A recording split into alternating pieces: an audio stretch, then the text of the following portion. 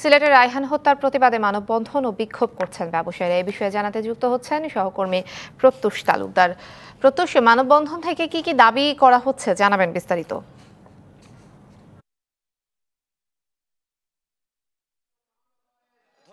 আমি এখন রয়েছি সিলেট নগরীর অত্যন্ত গুরুত্বপূর্ণ একটি পয়েন্ট কোর্ট পয়েন্ট বলা হয়, অর্থাৎ ঠিক কালেক্টরেট জামে মসজিদের সামনে।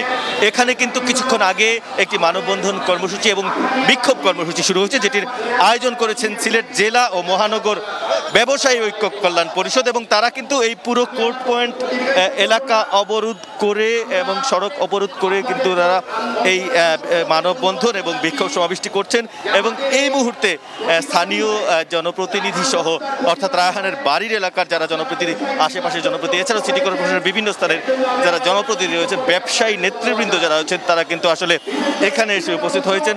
এখান থেকে তারা একটা দাবি জানাতে চাইছেন যে সারা দেশে চলমান বিভিন্ন ধরনের ধর্ষণের ঘটনা, বিশেষ করে রায়হান হত্যাকাণ্ডের যে ঘটনা, সেই ঘটনার তারা প্রতিবাদ জানাচ্ছেন এবং একটি বিষয় বারবার উঠে আসছে যে, এই ঘটনায় অভিযুক্ত যারা রয়েছে অভিযুক্ত পুলিশ সদস্য যারা রয়েছে, তারা কিন্তু এখন পর্যন্ত তাদেরকে গ্রেফতার দেখানো হয়নি। আর বিশেষ করে যিনি আকবর, অর্থাৎ বন্দরবাজার পুলিশ ফাঁড়ির যিনি দায়িত্বপ্রাপ্ত ছিলেন, ইনচার্জ ছিলেন, সেই আকবর সেই আকবর পলাতক থাকার কারণে আসলে ব্যবসায়ীরা বিশেষভাবে ক্ষোভ প্রকাশ করছেন। তারা বলছেন যে মূল আসামি আকবর সহ, অর্থাৎ যেহেতু তার স্ত্রী, নিহতের স্ত্রী অজ্ঞাতনামা আসামিদেরকে দায়ী করে মামলা করেছেন, সেক্ষেত্রে যে অভিযোগটি উঠে এসেছে, যারা অভিযুক্ত পুলিশ সদস্য, তাদের বিরুদ্ধে কিন্তু পুলিশ প্রাথমিকভাবে শাস্তিমূলক ব্যবস্থা গ্রহণ করছে। কিন্তু এরপরও সন্দেহভাজন থাকা সত্ত্বেও আসলে আকবর কীভাবে পালিয়ে গেল, সেই প্রশ্নটি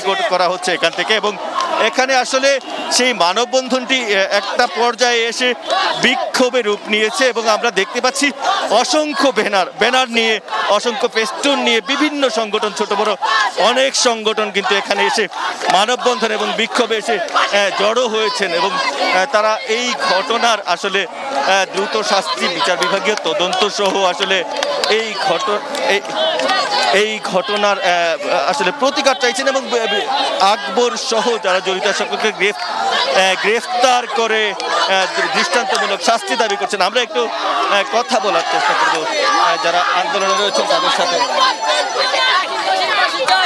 আমরা একটু কথা বলব দর্শক দেখছেন আসলে এখানকার যে আন্দোলনটি, সেটি বিক্ষোভের রূপ নিয়েছে। আমরা একটু এখানে যারা আন্দোলনকারী রয়েছেন, তাদের সাথে আমরা কথা বলার চেষ্টা করব। আপনারা নিশ্চয়ই দেখতে পাচ্ছেন লন্ডন মেনশন ব্যবসায়ী, অর্থাৎ সিলেট নগরের বিভিন্ন ব্যবসায়ী সমিতি যারা রয়েছেন, তারা কিন্তু এখানে দাঁড়িয়েছেন। আপনাদের আজকের যে এই ব্যাপক বড় পরিসরে মানববন্ধন হচ্ছে, আপনাদের মূল দাবিগুলো কী কী, আর আপনারা বর্তমানে কি চাইছেন? আমরা চাচ্ছি সমসাময়িক যে দর্শন ঘটনা হচ্ছে এবং আকবর হত্যা সরি ওই রায়হান হত্যা, সেই রায়হান হত্যার আমরা সুষ্ঠু সমাধান এবং প্রশাসনের পক্ষ থেকে এটার একটা শান্তিপূর্ণ সমাধান চাচ্ছি এবং সরকারের ঊর্ধ্বমহলে এর বিচার চাচ্ছি। এর মাধ্যমে যাতে আর ভবিষ্যতে কোনো দুর্ঘটনা না ঘটে, এইরকম ঘটনা করার সাহস না পায়, সেই প্রত্যাশা আমরা সবার কাছে সরকারের মধ্যে ঊর্ধ্বমহলের কাছে রাখছি। ধন্যবাদ। ধন্যবাদ। আপনি নিশ্চয়ই শুনছিলেন, এটি কিন্তু সিলেটের লন্ডন মেশন ব্যবসায়ী সমিতি, এছাড়াও বিভিন্ন ধরনের আসলে বিভিন্ন রকম তাদের যে ব্যবসায়ী ঐক্য কল্যাণ পরিষদ এবং সিলেট ব্যবসায়ী সমিতির বিভিন্ন মার্কেটের ব্যবসায়ী সমিতি, অর্থাৎ এখানে লন্ডন মেনশন ব্যবসায়ী সমিতি, শ্যামলী মার্কেট ব্যবসায়ী সমিতি শ্যামলী শপিং সেন্টার সহ মানে অর্থাৎ প্রতিটি মার্কেটের যে যে মার্কেটগুলো রয়েছে, যেগুলো, সেগুলো আলাদা আলাদা ব্যবসায়ী সমিতি, আলাদা আলাদা সংগঠন হয়ে তারা বিভিন্ন ব্যানারে কিন্তু তারা আসলে তাদের এই কর্মসূচি চালিয়ে যাচ্ছেন।